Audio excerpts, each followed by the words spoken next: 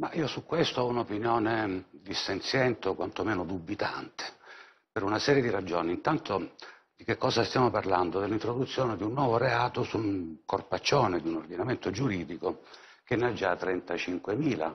Questa è la cifra che viene eh, allora io mi chiedo se aggiungere reati eh, dire, a, a, aumenti la sicurezza collettiva o invece la metta maggiormente a repentaglio. Eh, che tipo di reato sarebbe poi? Perché noi abbiamo già la legge Scelba del 52 che castiga l'apologia di fascismo, ma solo se collegata, se strumentale, alla ricostituzione, alla riorganizzazione del partito fascista. In questo senso quella legge lì è servente a una disposizione finale della Costituzione che vieta di... Eh, è vietata sotto qualsiasi forma la ricostruzione no. del partito fascista. Mentre qua si tratterebbe invece di eh, vietare tout court eh, l'esibizione di simboli fascisti, di...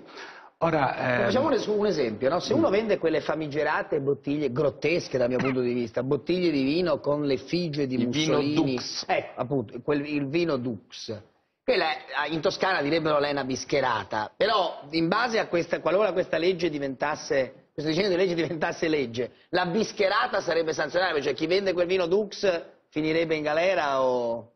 Magari un giudice decide di sì e un altro decide di no, perché poi un'altra dei corollari di tutta questa corsa alle, alle, alle manette, alle, no? scoppia un caso di pedofilia, oddio, aumentiamo le pene per i pedofili e via via, è quello di, in realtà di consegnare la nostra libertà alla discrezionalità interpretativa dei giudici che a sua volta cresce di molto quando l'ordinamento è sovraffollato di norme e di reati.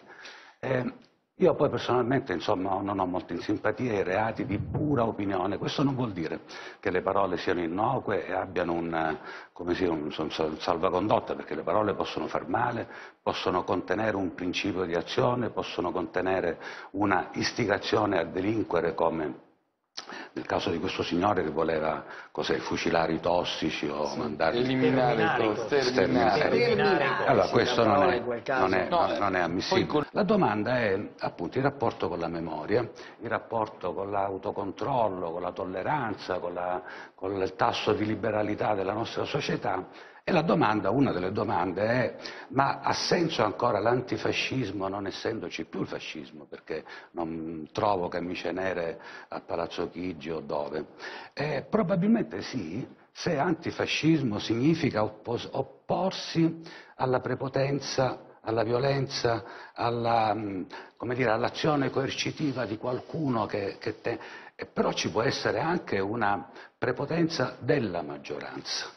No? E la libertà di parola eh, a chi interessa, chi protegge? Protegge le minoranze, non protegge la maggioranza, sì. si protegge la sé, non ha bisogno di ombrelli costituzionali. E quando io, eh, come dire, eh, castigo alcune parole perché sono eretiche, sono controcorrente, sono, ehm, in realtà sto commettendo un gesto tra virgolette fascista, no? eh, in nome dell'antifascismo posso pure diventare, diciamo, nei comportamenti un po' fascista anch'io.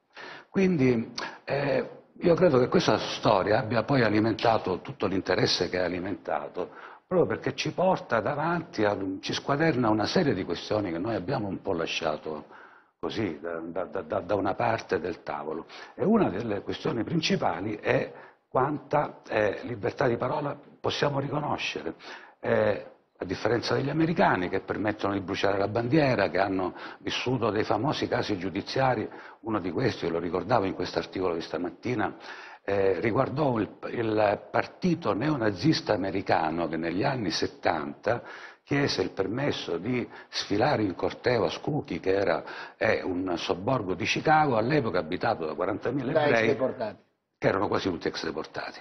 Caso giudiziario, la Corte dell'Illinois, insomma, poi alla fine la pronuncia definitiva dice beh quelli il diritto di manifestare ecco, ce l'avevano. No, vabbè, noi forse abbiamo anche un'identità fragile, perché se tu sei sicuro della tua identità, delle tue matrici culturali e anche hai sufficiente padronanza della tua storia, non hai paura di quello certo. che all'orecchio ti, ti, ti, ti blata.